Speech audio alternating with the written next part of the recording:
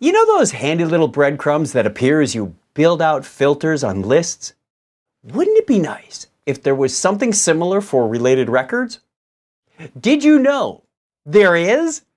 It's called the Parent Breadcrumbs Formatter. And as the name suggests, it works off the parent field on a record. Let's take a look at an example using task records. Here we are on the incident list, and when we filter the active incidents related to email, we see the parent field not only connects a couple of the incidents together, but there's also a problem record involved as well.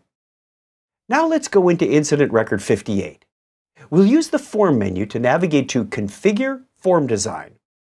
In the Form Designer, we'll create a new section, make it a single column, and move it to the top. Over on the left, under all the fields, we see formatters, and there's one called Parent Breadcrumbs. Let's drag that out to the new form section at the top and save. Now, when we reload the form, we see that the parent record is incident 47 and the parent of that record is problem 55. Pretty neat. And this isn't limited to just tasks. Any table that has a field named parent can use this formatter. The CMDB is full of them, and we could even use it on a custom table. The parent breadcrumb formatter is a handy way to help users navigate around the related records. That's all for this time.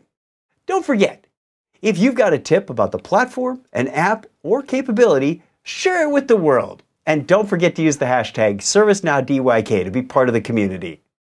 I'll be back soon with another ServiceNow DYK. Thanks for watching.